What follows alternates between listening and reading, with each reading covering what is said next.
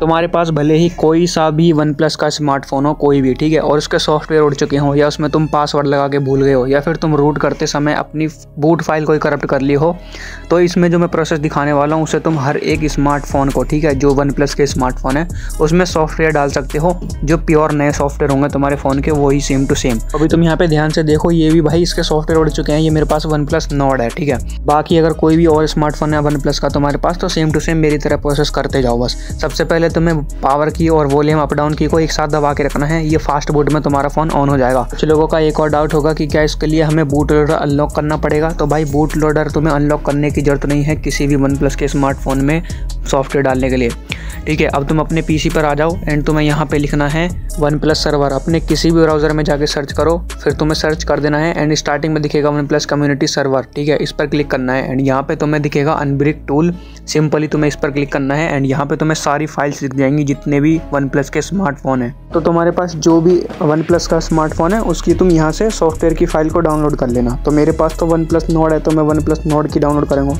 ध्यान से, जो भी तुम्हारे फ़ोन का नाम है, ठीक है मॉडल है, उसी की फ़ाइल तुम्हें यहाँ से डाउनलोड करनी है तो मैं वन प्लस नोड पर क्लिक करूँगा बिकॉज़ नोड है मेरे पास एंड यहाँ पे देखो तुम्हें, यहाँ पे अपनी कंट्री के हिसाब से डाउनलोड करनी है फ़ाइल मैं इंडिया से हूँ तो मैं इंडिया पे क्लिक करूँगा। तुम ग्लोबल भी डाल सकते हो अदरवाइज़ देखो यूरोप के लिए अलग से यहाँ पे फ़ाइल दी हुई है।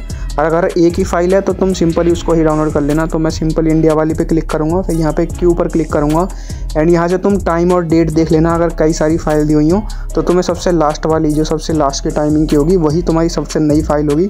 सिंपली तुम्हें उस पर क्लिक करना है एंड ये तुम्हारी फ़ाइल ऑलरेडी डाउनलोड होना स्टार्ट हो जाएगी। देखो, मैंने इसको पहले से ही डाउनलोड करके रखा है तो मैं डाउनलोड नहीं करूँगा, तुम्हारा टाइम वेस्ट ना हो, इसलिए मैंने पहले ही डाउनलोड कर लिया था। अब मैं जाता हूँ अपने फ़ाइल में और डाउनलोड फोल्डर में देखो, ये रही वन प्लस की फ़ाइल तो जब तुम्हारी सॉफ्टवेयर की फ़ाइल डाउनलोड हो जाएगी, देखो, मैंने इसको पहले ही डाउनलोड करके रख लिया था, ठीक है? तो देखो, यहाँ पे टाइप भी देख लो। एक मिनट में तुम्हें दिखा रहा हूँ, ये जिप है, ठीक है? जिप फ़ाइल में आती है, ये जो फ़ाइल आती है। तो जो तुम्हारी भी जिप आएगी, उसको तुम्हें सबसे पहले एक्सट्रैक्ट करना पड़ेगा। तो मैं यहाँ पे सेवन जेड से इसको कर रहा हूँ। तुम विनरार से किसी से भी कर सकते हो, ठीक है? एक्सट्रैक्ट कर रहा हूँ यहाँ पे, देखो।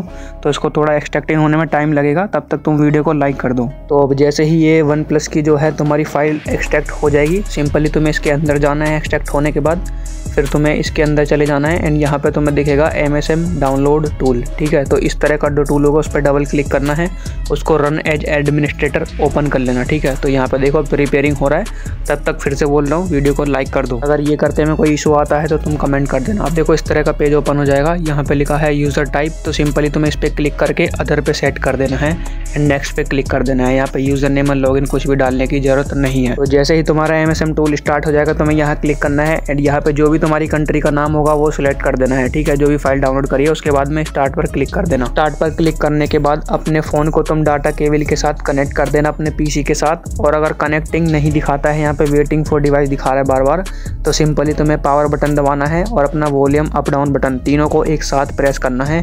और अगर तब भी कनेक्ट ना हो तो तीनों बटन को छोड़ देना, फिर दोबारा से तीनों बटन को एक साथ प्रेस करना। एंड यहाँ पे तुम्हारा फ़ोन कनेक्ट हो जाएगा और जो तुम्हारी फ़ाइल है, वो अपलोडिंग स्टार्ट हो जाएगी तुम्हारे फ़ोन में। और अगर देखो अपलोडिंग स्टार्ट नहीं होती है तो सिंपली भाई तुम्हें मैं फिर से बोल रहा हूँ, अपनी यू को निकाल कर दोबारा से अपने फ़ोन में लगाना और अपने पीसी में लगाना। उसके बाद में वॉल्यूम अप डाउन एक साथ दबाने हैं और साथ में अपना पावर बटन मतलब तुम्हें तीनों बटन एक साथ प्रेस करने हैं, ठीक है? Power button volume up down button एक साथ प्रेस करना। फास्ट बूट में लोड होते ही तुम्हारा फ़ोन यहाँ पे कनेक्ट हो जाएगा, यहाँ कनेक्ट दिखा देगा। और देखो ये जो ग्रीन वाली लाइन है, ये भरना स्टार्ट हो जाएगी, ठीक है? तो समझ लेना जो तुम्हारा सॉफ्टवेयर है, वो तुम्हारे फ़ोन में डलना स्टार्ट हो चुका है। और ये वाला जो प्रोसेस है भाई, ये तो बहुत ज़्यादा टाइम लेने वाला है। तो मैं यहाँ से वीडियो को थोड़ा फास्ट फॉरवर्ड कर देता हूँ। ये वाला जो प्रोसेस है ना, ये बहुत ज़्यादा टाइम लेता है तो मैंने वीडियो को बहुत तेज कर दिया है, ठीक है? जल्दी से टाइम वेस्ट ना हो जिससे। एंड देखो, यहाँ पे फाइनल में लिख के आ जाएगा डाउनलोड कंप्लीट देखो ग्रीन ग्रीन हो गया है सारा। तो यहाँ पे समझ लेना, जो हमारी बूट फ़ाइल है, वो हमारे फ़ोन में डाउनलोड हो चुकी है। हमारे सॉफ्टवेयर हमारे फ़ोन में डल चुके हैं। अब तुम यहाँ पे अपने फ़ोन को भाई डिस्कनेक्ट कर देना अपने डाटा केबल से। तो मैं यहाँ पे अपनी डाटा केबल को हटा रहा हूँ, ठीक है? और ध्यान रखना, जब तुम ये प्रोसेस करो तो भाई अपनी ओरिजिनल डाटा केवल यूज़ करना। एंड देखो, जैसे ही सॉफ्टवेयर डाउनलोड हो जाएँगे, ठीक है कंप्लीट हो जाएँगे तुम्हारे फ़ोन में तो तुम्हारा फ़ोन ऑटोमेटिकली ही रिबूट हो जाएगा। और अगर नहीं होता है तो तुम अपने फ़ोन को पावर बटन प्रेस करके अपने फ़ोन को स्टार्ट कर लेना, ठीक है? अब देखो, यहाँ पर फ़ोन स्टार्ट हो चुका है मेरा। वैसे फ़िलहाल तो ज़्यादातर फ़ोन स्टार्ट हो जाते हैं ऑटोमेटिकली बट अगर नहीं होता है बाई चांस तो तुम ऑन कर लेना, ठीक है कंप्लीट हो जाने के बाद में। तुम्हारे यहाँ पे फ़ोन में सॉफ्टवेयर डल चुके हैं। देखो, तुम्हारा फ़ोन कभी भी अनब्रिक हो जाता है या डेड हो जाता है, या फिर तुम्हारा पासवर्ड लगा के तुम भूल जाते हो, ठीक है? या कोई भी ऐसी कोई दिक्कत आती है तो तुम यही यूज़ कर लेना, ठीक है? ये वाला मेथड सभी वन प्लस के फ़ोन पे ये वर्क करता है। उसके बाद में तुम अपने फ़ोन को जैसा चाहे वैसा सेटअप कर लेना। बिल्कुल नया फ़ोन जैसा आता है, वैसा तुम्हारा फ़ोन स्टार्ट हो जाएगा। आई होप ये वीडियो तुम्हारे लिए हेल्पफुल रही हो। बाकी तुम जानते ही हो, तुम्हें क्या करना है? वीडियो को लाइक करना है एंड चैनल को सब्सक्राइब करना है। और अपने दोस्तों के साथ ये वीडियो शेयर कर देना, अगर किसी के साथ कोई वन प्लस में प्रॉब्लम आती है, ठीक है? चलो मिलते हैं नए वीडियो में। बाय